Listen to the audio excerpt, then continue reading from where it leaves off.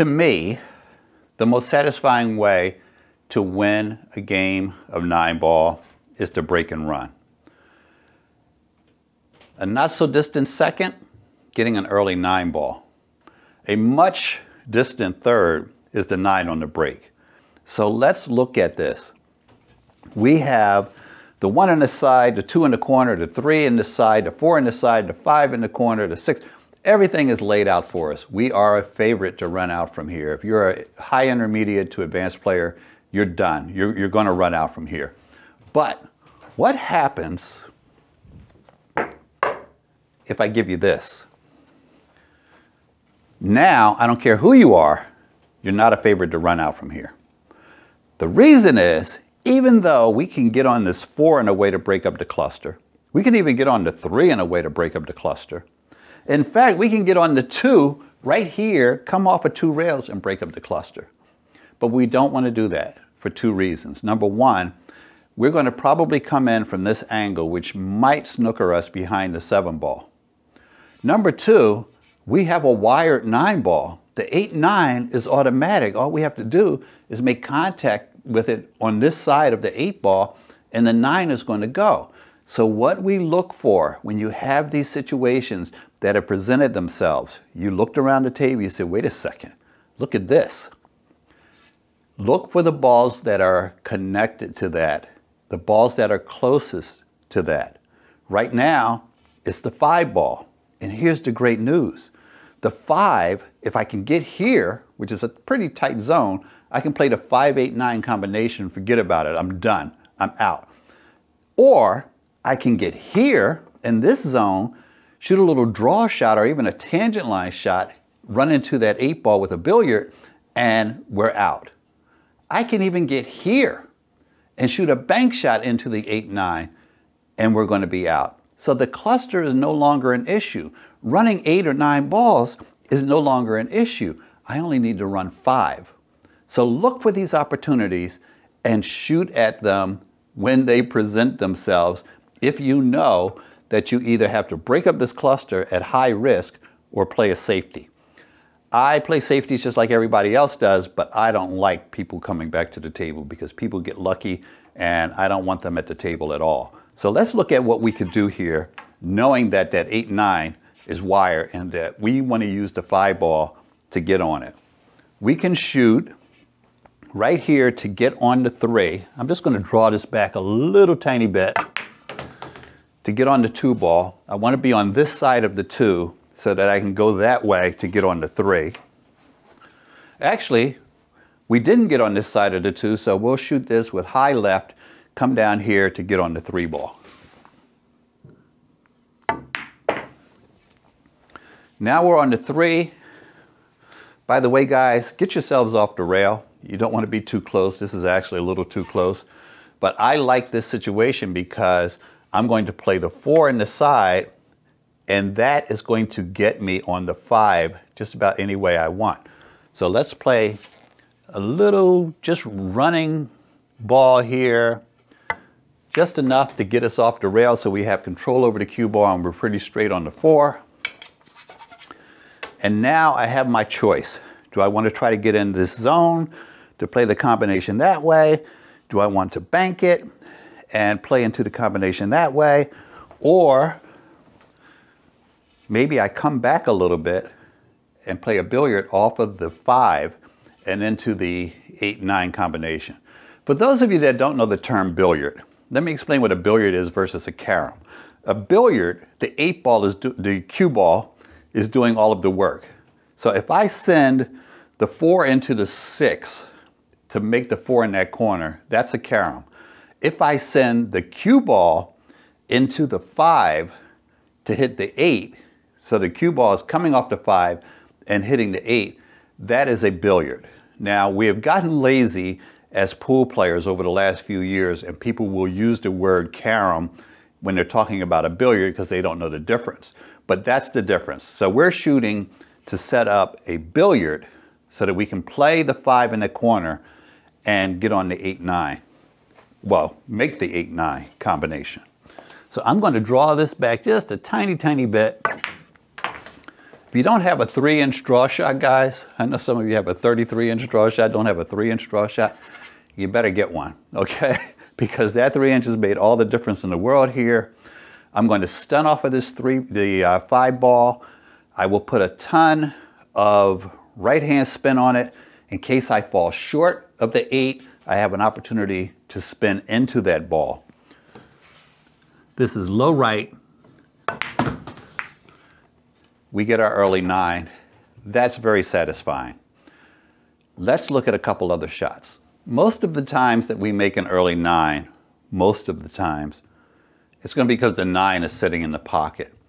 If you have a situation like this and you see the nine is sitting in the pocket or the 10 ball, start looking for ways to make this ball. Now we're on the one, we have the H6 tied up over here. That's going to keep us from running out unless we break up that combination and well that cluster and we talked about the dangers of breaking up clusters. But let's look at another thing we might do here. The nine in the pocket, like I said, creates a lot of opportunities. And frankly, if the cue ball was here, I'd bank that one ball down here to play the nine. But my cue ball is here.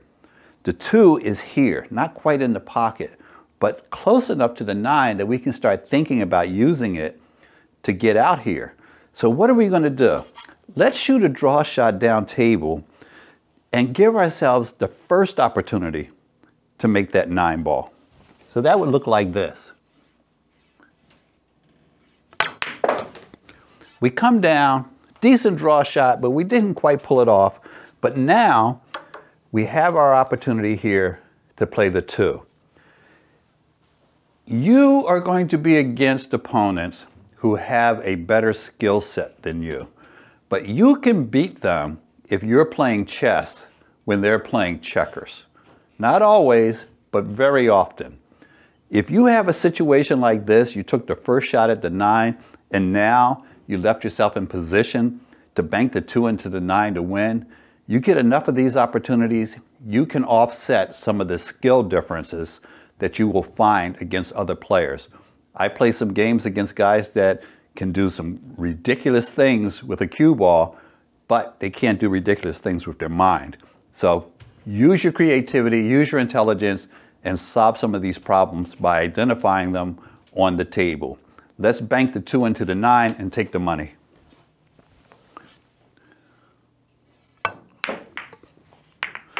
And it's a wrap.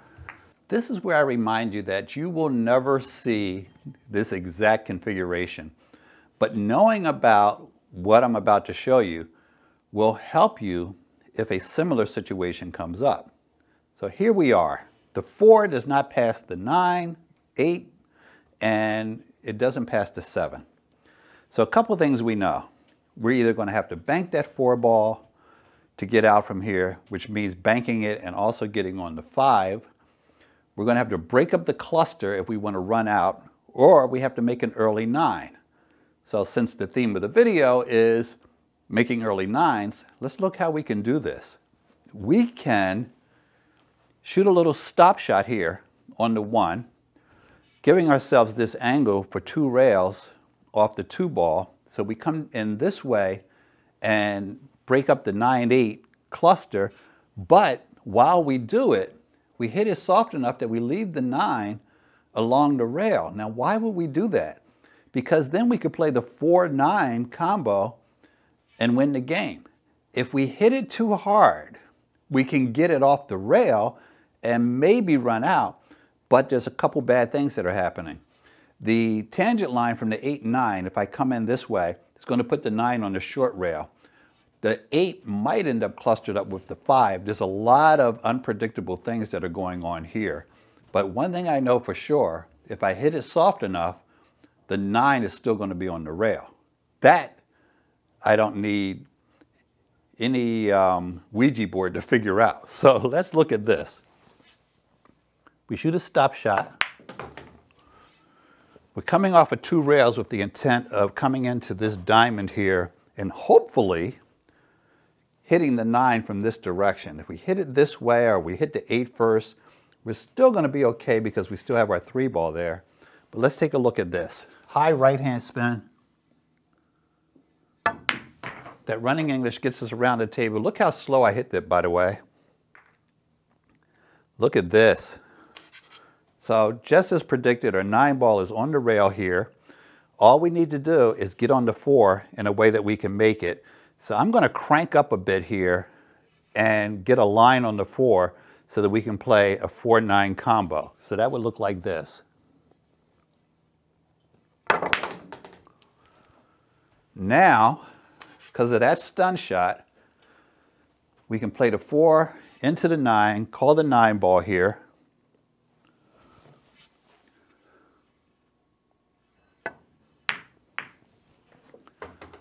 That's a good way to run out. And you know what? It's going to look lucky. So if you're playing for money, that's a great situation. If, if you win a game like this, they'll be talking about you for years. And I know because they're still talking about me. Here's the situation. The eight is blocking the nine.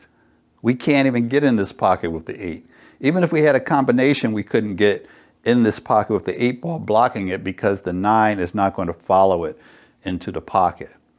But if we can take care of this situation first, leaving the nine ball in the pocket in the meantime, we have some other opportunities to get ourselves there. But we have to do it soon, which means we have to do it off the four ball because the five is not going to help us make the nine in this corner. So what we're going to do is we're going to play the two in the side pocket. We're going to roll it just a little bit because we want to have this angle that allows us to shoot a draw shot, putting that eight ball in the pocket for us. So look what happened. I don't know about you, but I like this situation. We hit it soft enough that we left the nine in the pocket. Remember that when the nine has a ball in front of it, hit it soft enough that you leave it in the pocket. And now we get to bank the four ball back here to play the nine. Looks like this. High left hand spin, give us an angle over here. We can even come off the rail first. We're going to make that nine. and it's a wrap.